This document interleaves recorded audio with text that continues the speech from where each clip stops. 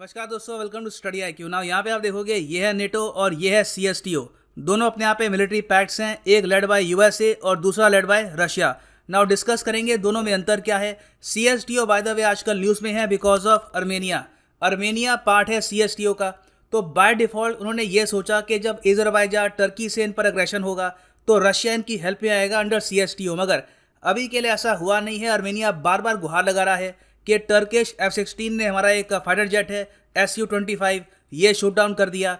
एजरबाइजा आज के समय बॉम्ब कर रहा है अर्मेनियन सिटीज़ को, मगर तब भी सी एस टी ओ को एक्टिवेट नहीं किया गया। ना इसके अलावा अर्मीना की एक और डिमांड ये भी है कि आज के समय सी एस टी ओ के जो दो ऑब्जर्वर कंट्रीज़ है, उसमें से एक है अफ़गानिस्तान सो अर्मेनिया ये चाहता है कि सिंस आज के समय अफ़गानिस्तान से बहुत सारे मुजाहिदीन लड़ रहे हैं एजरबाइजा की तरफ़ से अगेंस्ट अर्मेनिया तो अफ़गानिस्तान को बाहर निकालना चाहिए as an observer member of C S T O यहाँ पे आप देख पाएँगे Armenia suggest stripping Afghanistan of C S T O observer status over support for Baku Baku by the way capital है एजरबाईजा की. सो डिस्कस करेंगे इस topic को. बहुत कुछ आपको जानने को मिलेगा. A lot to know a lot to discuss as always but before we begin Google Play Store पर जाओ डाउनलोड द स्टडी आई की एजुकेशन ऐप और यहाँ पे आप खरीद सकते हैं मेरा science and tech course now first of all NATO NATO की फुल फॉर्म है नॉर्थ एटलांटिक ट्रीटी ऑर्गेनाइजेशन ये एक मिलिट्री अलायंस है जिसको एस्टेब्लिश किया गया था 1949 में। इस मिलिट्री पैक्ट का एक और नाम भी है वॉशिंगटन ट्रीटी और नेटो के हेडक्वार्टर्स आपको मिलेंगे इन ब्रसल्स। और यहाँ पे आप देख पाएँगे तीस देश हैं जो नेटो का पार्ट है आज के समय। इसमें से आप अगर देखेंगे कई देश है जिनके पास न्यूक्लियर वेपन्स भी हैं। फॉर एग्ज़ाम्पल यूएसए यूके और जो रिसेंट इनका मेंबर है 2020 में जिसने ज्वाइन किया था नेटो को ये है नॉर्थ मैसेडोनिया। सो so, पहला डिफरेंस है नेटो और सीएसटीओ में the number of members NATO के टोटल तीस मेंबर हैं और सीएसटीओ के सिर्फ़ छः मेंबर हैं। यहाँ पे आप देख पाएँगे इनके members, Armenia, Belarus, Kazakhstan, Kyrgyzstan, Russia और तजिकिस्तान। और एक एस्पेक्ट यहाँ पर यह भी है कि नेटो का जन्म हुआ था 1949 में where C S T O मतलब के कलेक्टिव सिक्योरिटी ट्रीटी ऑर्गेनाइजेशन जिसके हेडक्वार्टर्स है मॉस्को, रशिया में, इसका जन्म हुआ था 1991 में। Now initially C S T O के नौ मेंबर थे, जिसमें एजरबाइजा भी शामिल था। जी हाँ एक टाइम था, जब एजरबाइजा और अर्मेनिया दोनों मेंबर थे ऑफ़ द CSTO और फिर 2002 में CSTO को रिन्यू किया गया और आज के समय यहाँ पर छह मेंबर हैं। और दो हैं ऑब्जर्वर स्टेट्स एक है अफ़गानिस्तान और दूसरा है सर्बिया। ना कहने को आप अगर देखो तो नेटो और सी कहते हैं कि हमारा जो सिस्टम है ऑपरेट करने का सेम ही है। आपने एक नेटो कंट्री पे अटैक किया मतलब कि सब नेटो कंट्रीज़ पे अटैक किया। और सिमिलरली आपने एक C S T O countries पे अटैक किया। तो मतलब कि जो छह की जो C S T O countries हैं, सब पे आपने अटैक किया। मगर क्या ये रियलिटी है? इसका आंसर है नहीं। देखो, पहली बात तो यहाँ पर यह है कि नेटो में रूल्स क्लियरली डिफाइंड हैं और ये लोग प्रॉपरली अपने रूल्स फॉलो करते हैं और नेटो की पॉलिसी में आपको कॉन्ट्राडिक्शन बहुत ज़्यादा कम दिखेगी। Whereas C S T O की जो कंट्रीज़ हैं, काफ़ी बार अपनी फेलो कंट्रीज़ को ही नुकसान पहुँचाती है। For example, Russia.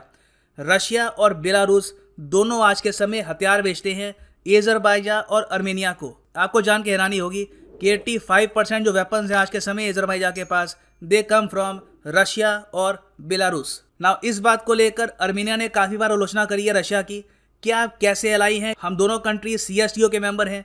तो नेटो में जिस तरीके से रूल है कि एक कंट्री अगर थ्रेट माना जाता है किसी कंट्री का तो उस कंट्री को सारी नेटो कंट्रीज़ वेपन सेल नहीं करेगी।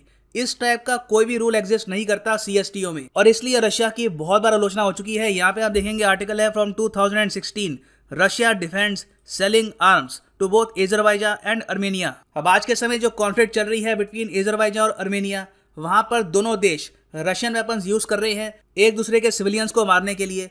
तो ये अपने आप एक काफ़ी अजीब बात है कि एक सी कंट्री ही, अपने सी कंट्री का जो एनिमी है, उसको वेपन्स बेचता है और इन द फ्यूचर भी बेचता रहेगा। इसके अलावा एक और डिफरेंस ये है कि क्या मेजर्स लिए जाएँगे टू प्रोटेक्ट ईच अदर अब नेटो में क्लियरली इनका आर्टिकल फाइव ये कहता है कि अगर एक अटैक होता है आर्म्ड अटैक होता है including the use of arm force on any NATO country तो इसका मतलब सब नेटो कंट्री पर अटैक हुआ है अंडर नेटोस आर्टिकल फाइव इसके कंपैरिजन में आप अगर देखो सी एस टी ओ को तो इनका है आर्टिकल थ्री वहाँ पर जो ये शब्द यूज़ करते हैं, ये काफ़ी कन्विंसिंग है नहीं। ये लोग ये कहते हैं कि सब C S T O countries help करेगी एक दूसरे की। अगर किसी भी कंट्री की जो टेरिटोरियल इंटेग्रिटी है और सॉवरिटी है, ये खतरे में आती है। और इसमें भी आप अगर देखोगे तो उन्होंने शब्द यूज़ किया है वॉलंटरी यहाँ पे आप देख पाएँगे वॉलंटरी पार्टिसिपेशन तो CSTO में लीगली बाइंडिंग कोई एस्पेक्ट नहीं है कि अगर एक सीएसटीओ कंट्री पे अटैक हुआ है तो सबको अग्रेसर पे अटैक करना होगा।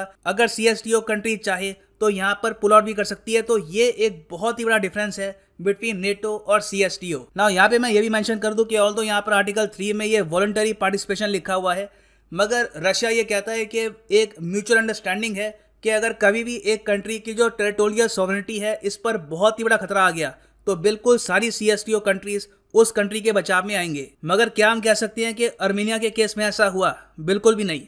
एजरबाईजा आज भी रशियन वेपन्स यूज़ कर रहा है।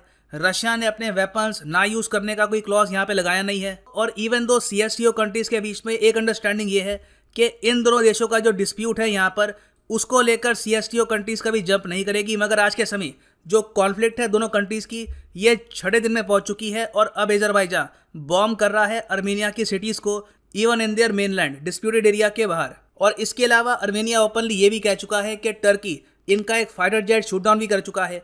इस सब के बावजूद रशिया और बाकी जो सी एस कंट्रीज़ हैं, अब तक ये लोग बस यहाँ पर कह रहे हैं कि बातचीत से जो इशू है, ये रिजोल्व करना चाहिए। सी एस अभी के लिए यहाँ पर एक्टिवेट नहीं होगा। वेराज आप अगर देखो आर्टिकल फाइव को तो जब यूएसए पर अटैक हुआ था नाइन इलेवन का तो उसके बाद यूएसए ने नेटो का जो आर्टिकल फाइव है, ये वो किया था। और इसके अंडर बहुत सारी नेटो कंट्रीज़ ने अफ़गानिस्तान में वेरियस ऑपरेशंस कैरी आउट किए विद द यूएस आर्मी तो देखो, यहाँ पर कंक्लूजन ये है कि मिलिट्री पैक्ट खराब नहीं होते। ऐसा नहीं है कि मिलिट्री पैक्ट आप साइन करेंगे तो उसका कोई रिज़ल्ट होगा नहीं।